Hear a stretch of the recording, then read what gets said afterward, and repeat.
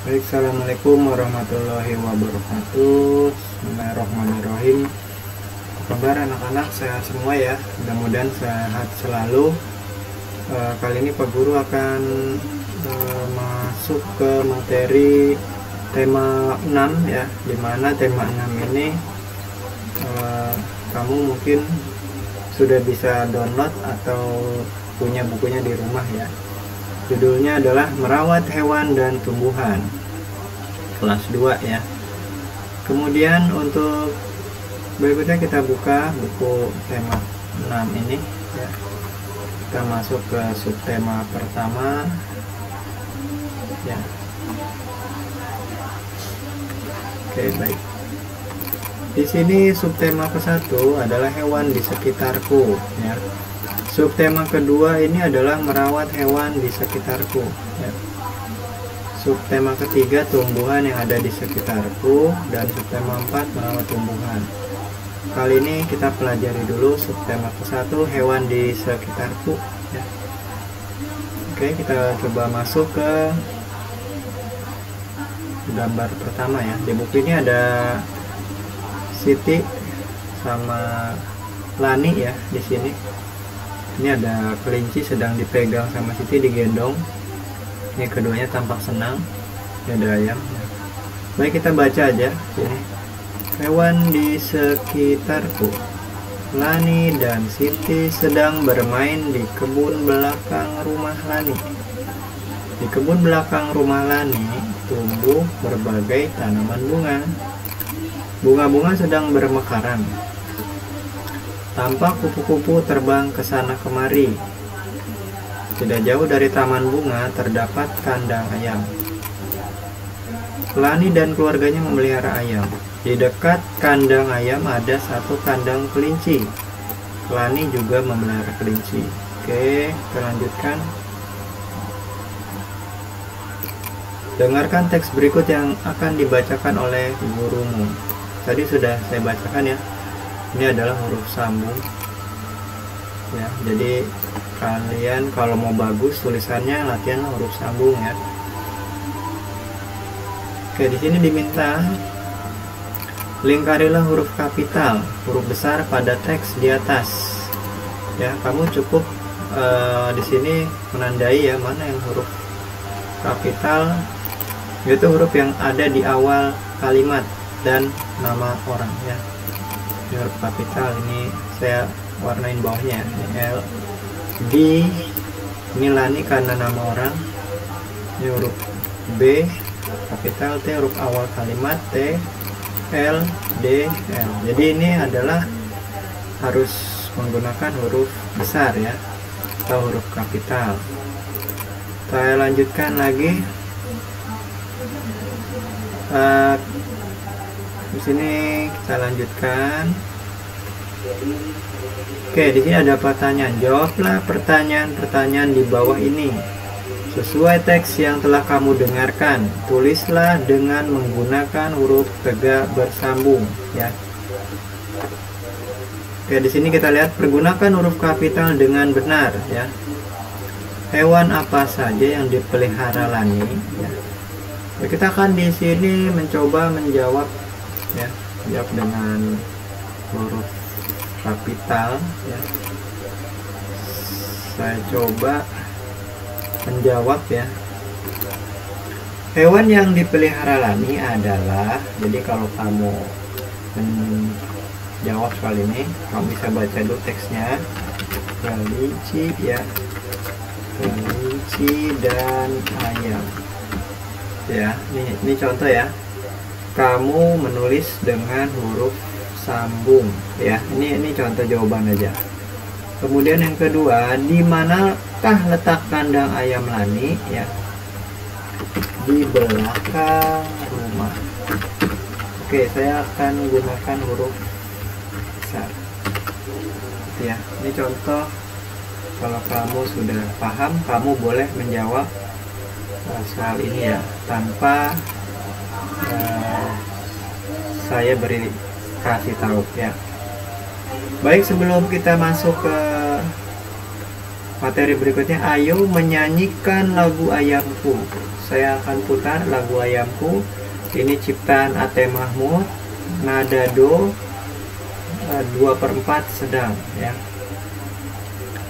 Ada lagunya kita buka di YouTube ya. Oke kita coba di sini. Siap ya satu dua tiga. Oke. saya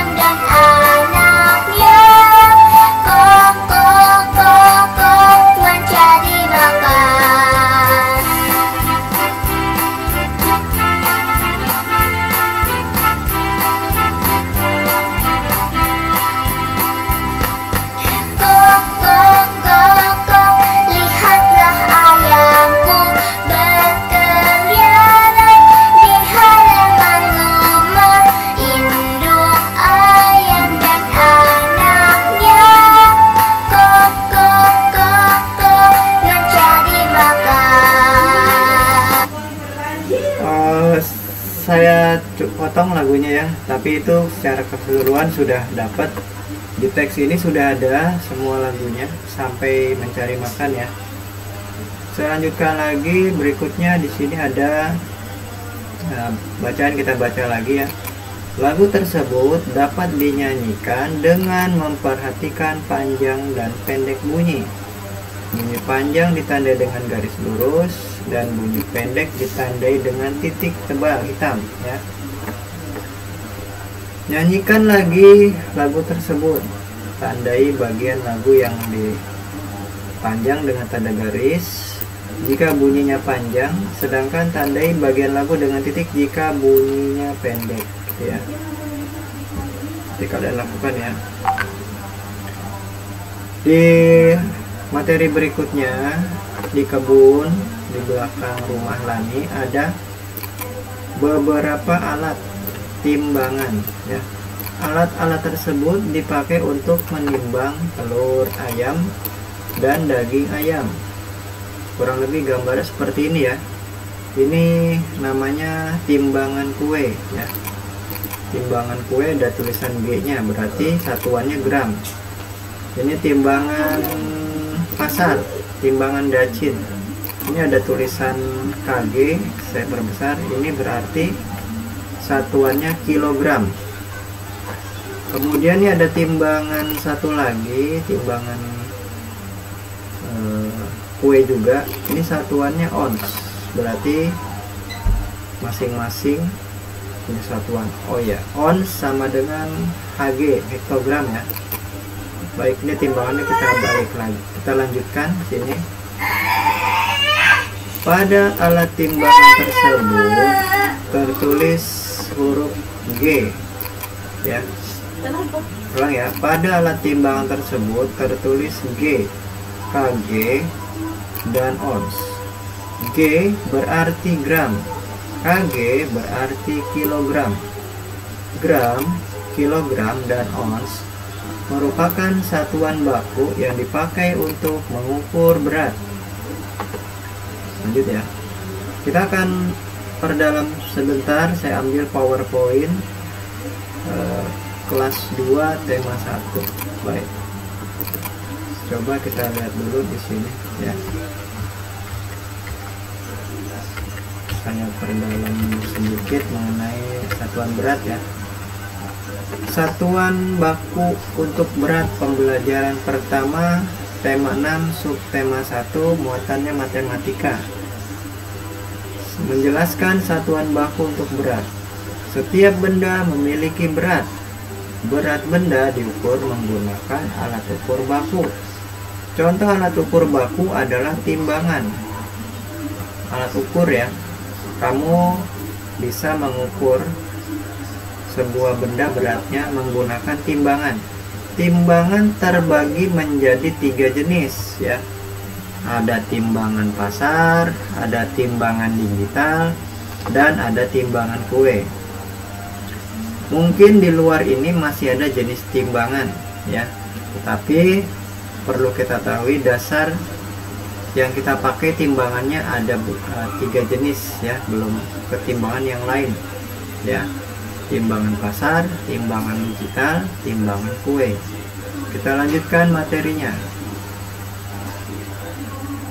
ya Hasil pengukuran berat dengan timbangan dinyatakan dalam satuan berat gram, kilogram atau kg, gram atau g, atau hektogram ditulis hg. hg hektogram itu nilainya sama dengan ons, ya. Oke. Perhatikan hubungan satuan berikut. kg, g, dan Hg juga ons itu punya hubungan ya. Nah di sini kita lihat hubungannya adalah lihat yang ini ya. 1 kg sama dengan 1000 gram ya. Itu hubungannya. Nilainya sama senilai. Kemudian yang bawah kiri 1 kg sama dengan 10 Hg 10 hektogram. Ya Oke saya tambah tambahkan lagi di sini ada hubungan lagi satu lagi saya coba tambahkan lagi. Ada yang kurang ya saya tambahkan. Bahwa 1 Hg itu adalah sama dengan 1 ons ya. Jadi kita tambahkan lagi materinya kita ralat sedikit ya. Di saya lanjutkan 1 Hg 1 hektogram adalah 1 ons. Kemudian 1 kilogram sama dengan 10 Hg sebentar saya ralat lagi. 1 kilogram juga senilai dengan 10 ons ya. Saya coba ralat lagi ya 1 kilogram sama dengan 10 hektogram atau 10 Hg sama dengan 10 ons. Baik yang berikutnya 1 hektogram sama dengan 1 on dan 1 on sama dengan 100 gram ya. Nah baik kita akan lanjutkan ke buku tema kembali ya. Ini udah jelas kalian tolong dihafalkan satuan baku untuk kelas 2 ada tiga buah satuan. Yang pertama kilogram ya. Yang kedua hektogram atau ons. Dan yang ketiga adalah gram ya. Baik kita coba masuk ke buku tema lagi ya kita baca sama-sama. Ayam dipelihara untuk dimanfaatkan daging dan telurnya. Daging ayam dijual dalam kemasan setelah ditimbang. Telur ayam dijual dalam kemasan setelah ditimbang. Jadi, baik telur dan daging, ini telur dan daging itu dijualnya setelah ditimbang. Ya. Kita coba lihat di sebelah kiri ini ada gambar ayam yang sedang ditimbang. Menggunakan timbangan pasar atau timbangan dacin, di sini beratnya 1 kg. Kemudian di sebelah kanan ada telur ayam yang ditimbang dengan timbangan pasar ya. Alhamdulillah. Menggunakan uh, timbangan pasar atau dacin beratnya sebesar 2 kg ya di sini ada satuan yang sama seperti tadi cuman kita harus hafalkan di sini bahwa ada e, buku tema mengatakan ons.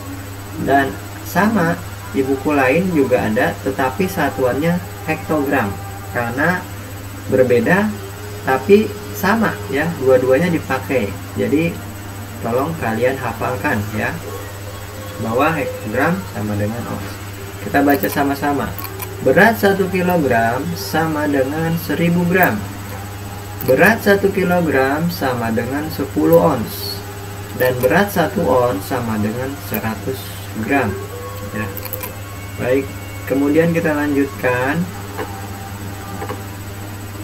uh, kita nggak masuk ya jadi kita nggak usah bikin kelompok kan di sini diminta bikin kelompok tapi tidak usah kita baca ini aja alat yang dibutuhkan itu timbangan. Di rumah kalian punya timbangan? Kalau misalkan tidak punya ya nanti kalian coba lihat-lihat di YouTube bagaimana cara menimbang sebuah benda ya.